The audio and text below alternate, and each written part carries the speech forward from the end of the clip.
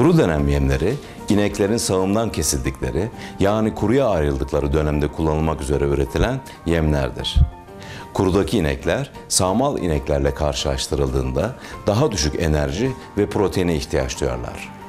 Mineral ihtiyaçları ise sığırların diğer dönemlerine göre farklılıklar gösterir.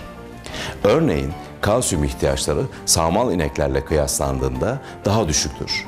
Kuru dönem yemleri bu ve bu gibi farklılıklar göz önüne alınarak üretilmektedir. Kurudaki ineklerin kendilerine özgü rasyon ya da yemlerle beslenmemesi doğum zorluklarına, rahim iltihaplarına, süt umması ve mide dönmesi gibi metabolik sorunlara yol açmaktadır. Bereketli olsun Türkiye'm.